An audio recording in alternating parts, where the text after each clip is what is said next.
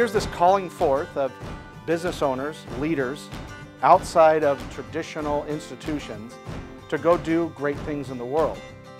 And in that calling, um, we believe that that calling is your brand. The, the label of a brand lab, let alone messaging and, and, marketing in general, is applicable to anyone and everyone. Whether you're a solo entrepreneur or whether you're in a corporate development, if you're a leader, you need to be knowing your brand. You need to be developing that. Whether you're a solopreneur, you're a large consulting or coaching firm, or you're a large company and corporation.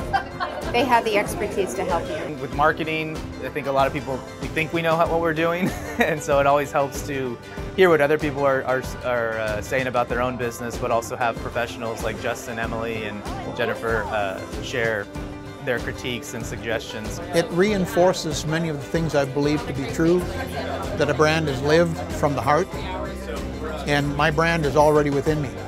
I merely have to discover who I am. If you don't have that heart-centric, belief-centric brand coming out from within, it's pretty easy to become a stale corporate structure that's, that's fairly lifeless and colorless.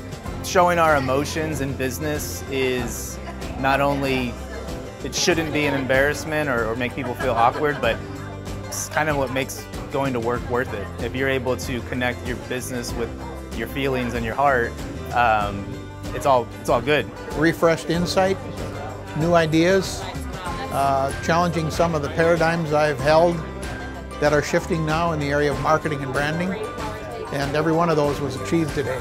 Emily and Justin and Root and River, in in my professional opinion, is the only marketing branding company to work with.